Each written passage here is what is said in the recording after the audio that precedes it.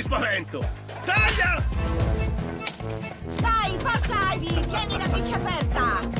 Oh no, no, no! Riesco a vedere chiaramente adesso. Questo è il mio regno.